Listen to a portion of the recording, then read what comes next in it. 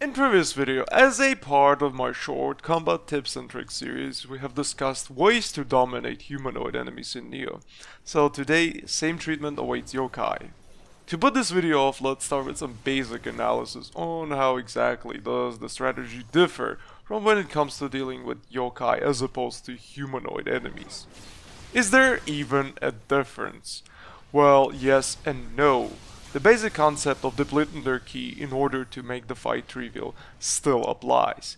But when it comes to the approach on how to actually get this to happen, that's where it's different. As you remember, versus humanoid enemies, the strategy basically revolved around either knockdowns or guard breaks. However, neither of those technically work versus yokai. Whenever you deplete their ki, they become staggerable for a set period of time giving you a window to punish their misbehavior. If you fail to capitalize on it with some massive damage during that period, they will regain their ki back, thus resetting your progress. Hitting yokai before you deplete their ki does pretty much nothing, since they can poise through all of your attacks and trade everything back at you, ensuring your trip to the shrine. The ki difference between facing humanoid enemies and yokai in Nioh is that yokai guys do not block. This means that skills like kick are a lot more effective, since you can always get a follow-up going. However, you should be cautious, since yokai can poise through it very easily. So basically, if you want to use all those fancy special key damage combos, you have to know what yokai you're facing and when you can go for a combo and when you can't. This requires some experience, good timing, and, well, I feel like it's just too much effort. There is an easier way. Despite kick spam being extremely viable, it's not the most efficient solution. Every yokai in Nioh has a certain weak point. For example, Yokai with horns have their horn as a weak point, which is pretty obvious. The wheel monk guys have pretty fragile back face, you know, on the other side of the wheel. For Cyclopsu yokai, it's the eye, and the list goes on. Every yokai in Nioh has something, except probably the fucking umbrella yokai, like really. If you know what their weak point is, please let me know in the comment section. Anyway, those weak points are what you want. Those weak points are your target. Landing a single hit to the weak point instantly renders yokai helpless, staggering them and depleting all of their ki in one hit, allowing you to open up with a combo.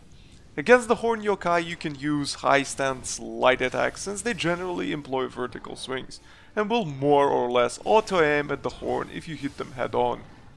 Or you can be fancy and use throwables like stones, Anyway, for Cyclopsu, you want to bait an attack that lowers the eye to the ground level, so you can poke it out. When it comes to Wheel Monk, it's pretty fucking easy. Seriously guys, why do you even struggle with it? Just bait the fire breath, walk behind them and hit its face on the back.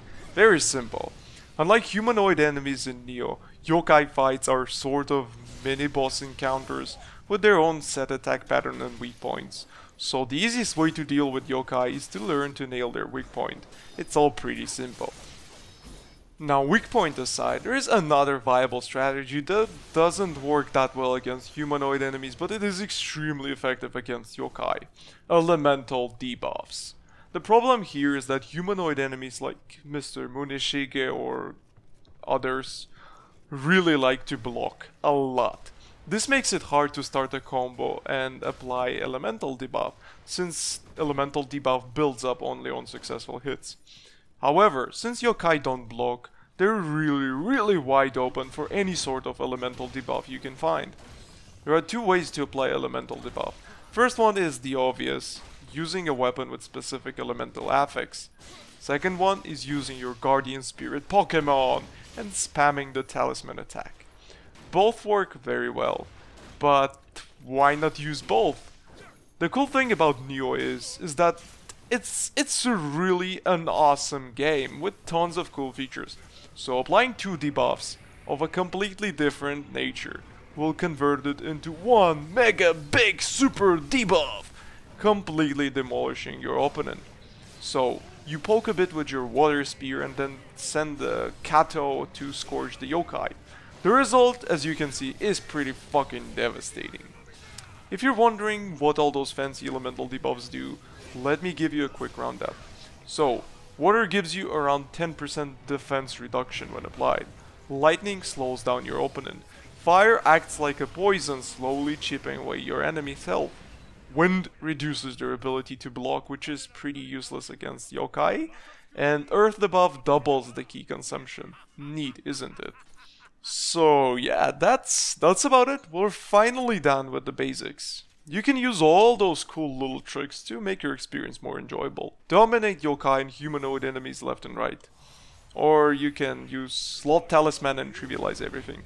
It's really up to you, but with basics being done, I'll be covering more advanced stuff next time, like breaking down Guardian Spirit attacks. Thank you for watching, and now see you next time.